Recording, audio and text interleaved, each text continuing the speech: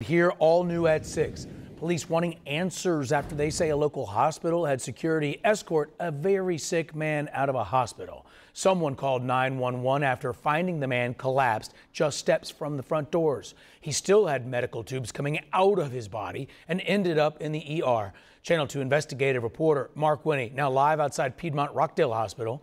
Mark, you talked to an officer who helped rescue the man.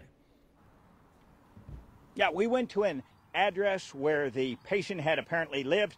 We tried him by cell phone. We got a statement in behalf of the hospital, but we also have reviewed police documents, interviewed a Conyers police deputy chief, and reviewed a 911 call.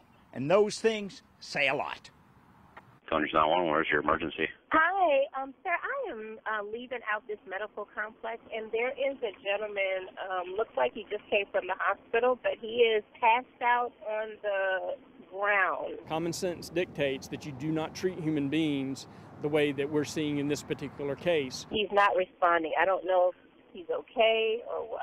The call came to Conyers 911 It's at the Piedmont Rockdale Hospital. from a concerned citizen. Poor guy. But probably needs an ambulance, not a. But he's right in front of the Piedmont Rockdale emergency um, entrance. Says Conyers Police Deputy Chief Scott Freeman, who says he's concerned too about the circumstances of a 68 year old man's discharge from Piedmont Rockdale Hospital Thursday based on what he and other emergency responders saw firsthand or later learned. He was clearly incoherent. Freeman says one of his officers documented that a hospital employee said the 68 year old man had been staying at the hospital 35 days, that Medicare would no longer continue to pay for his treatment at the hospital, and that security dressed him and walked him out. The deputy chief says an officer was told the man was, as a report says, cleared as fit to leave by two physicians, and the hospital wanted him gone. I don't have a good feeling about it.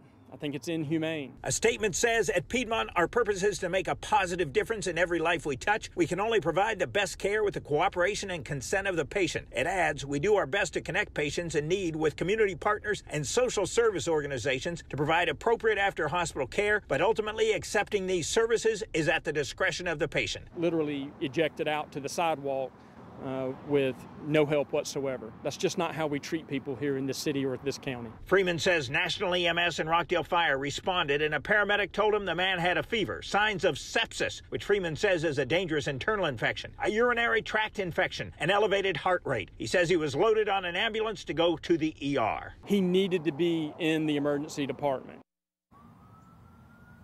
Now, Piedmont Healthcare says, unfortunately, hospitals often find themselves caring for people who cannot get into the kind of facilities that bridge the gap between hospital and home.